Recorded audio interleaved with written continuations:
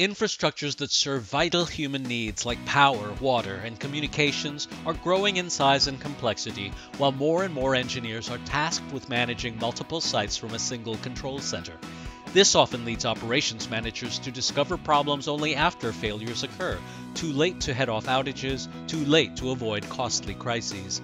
Managing mission critical infrastructures has never been more challenging or more essential.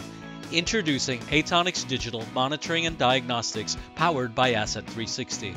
Monitoring and Diagnostics is a cloud based data analytics product that combines big data and machine learning technologies to simplify and improve operations in energy, utilities, and other industries.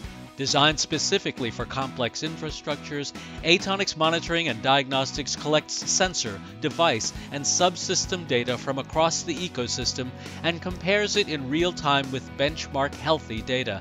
Monitoring and Diagnostics alerts personnel to anomalies and streamlines problem isolation and resolution, all from an intuitive web interface.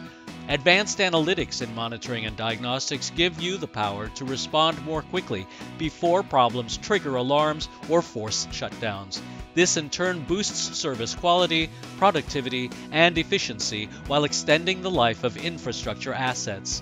To learn more about Atonix Digital and our monitoring and diagnostics product, visit atonix.com and follow us on Twitter at Atonix Digital.